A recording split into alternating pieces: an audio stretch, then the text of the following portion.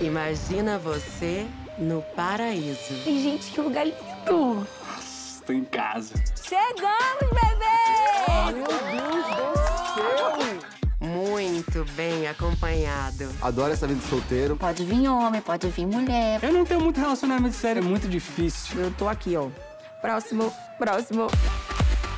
Começou a temporada da sacanagem nesse lugar. É, acho que não. Gente, olha! Ih, c... Olá, pessoas. Podem me chamar de Lana. Para ficar no retiro, vocês não podem praticar nenhum tipo de atividade sexual. Do paraíso pro inferno em dois segundos.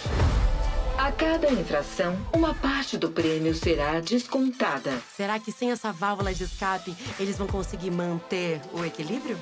Será que a gente vai quebrar as regras? Vontade não falta.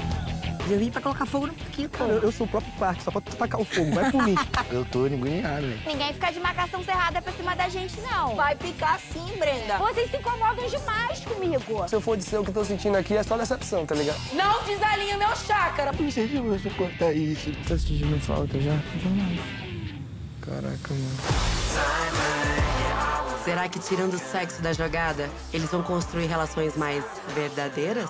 Tô amarradaço real. Eu não tava preparado pra encontrar o amor da minha vida em alguns dias. Se você não mudar do meu lado, eu não vou conseguir. Acho que eu aprendi a não ficar aprendendo o que eu realmente sinto.